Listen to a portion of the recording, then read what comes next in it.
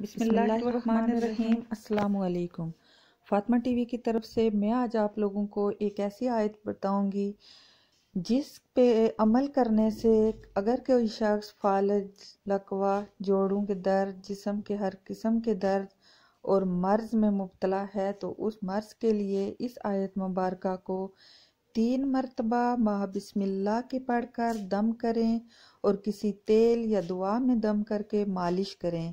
इन ताला बहुत फ़ायदा होगा।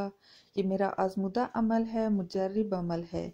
इस आयत को कागज़ पर लिखकर इसको तेल या दुआ वगैरह में डाल दें, फिर मालिश करें तो भी आपको बहुत फ़ायदा होगा।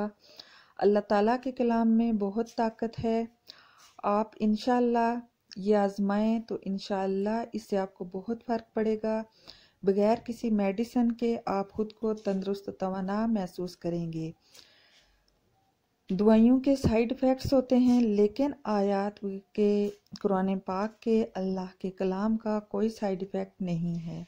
आप ये ज़रूर आजमाएँ, इस पर कोई कीमत नहीं लगती, कोई इस पर चार्जेस नहीं आते। तो आयत मुबारक ये है।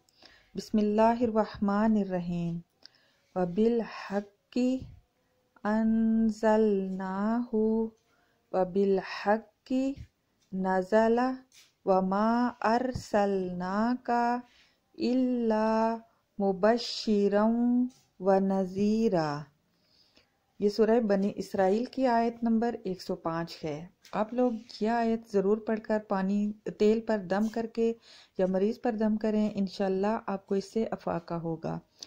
अगर वीडियो अच्छी लगे तो लाइक करें, शेयर करें, कमेंट्स करें और सब्सक्राइब करके बेल आइकन का बटन लाजमी प्रेस करें। ताकि मेरी वीडियोस आपको मिल सके।